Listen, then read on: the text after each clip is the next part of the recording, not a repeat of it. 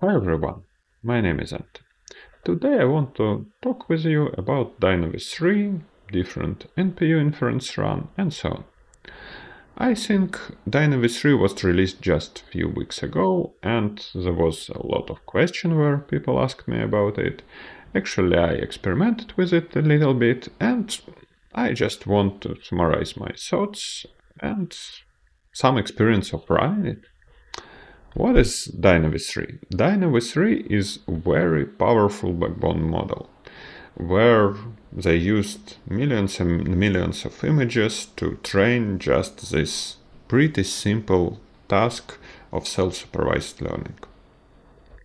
For many tasks, this backbone works out of the box, where you just can take features, train a linear classifier, and it will work.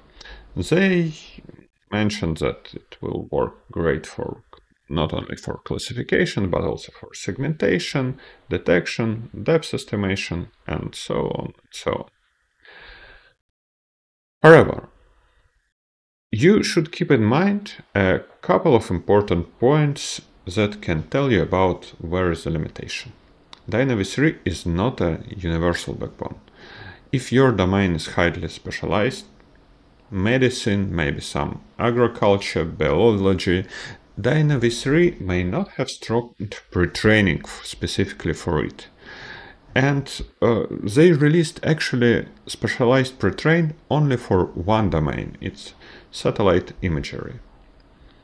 The second problem, datasets are matter. If you train in, for example, like detector, and you have a lot a lot of variety what you should detect in which cases how you should react on different situation. This is what you need to train manually. And you need to collect this data set that will tell your model how it will work. Maybe the only dataset you shouldn't train it's the depth estimation dataset for regular view.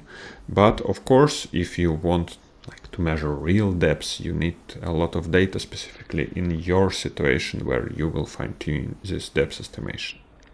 So DINOv3 is definitely great backbone. It will reduce your error for a lot of uh, cases. It will reduce your dataset size for a lot of cases. Uh, but actually it will not solve your computer vision task out of the box. Previously we used DINOv2 for a lot of tasks. It's worked quite well and in my opinion there are two important parts which making Dynavis 2 better than DINOv3.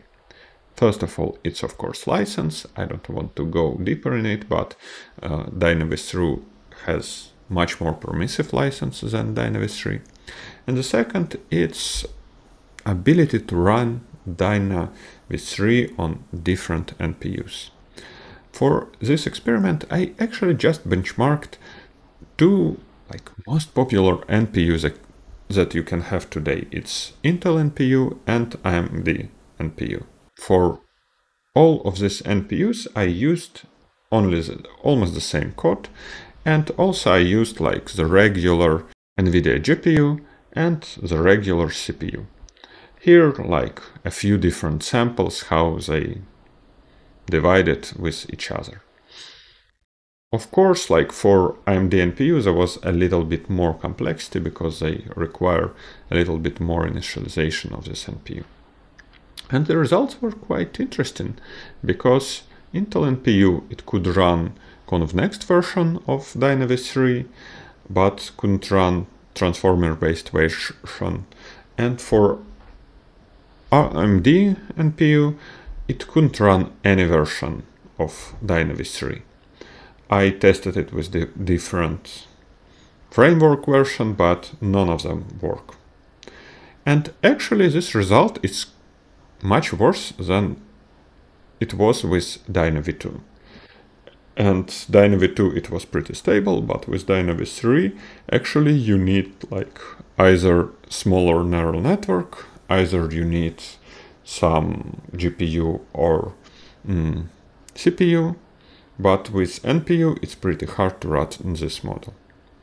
Anyway, it's a great new model, you can distill it, you can run on NVIDIA, you can use Jetson as your edge device, so definitely a good model, definitely a lot of application can be unlocked right now, definitely you can have better accuracy for some demo modes for some one-shot learning cases but it's not something like super groundbreaking and it's not super useful for your edge application. I hope this helped. Thank you for watching. Bye.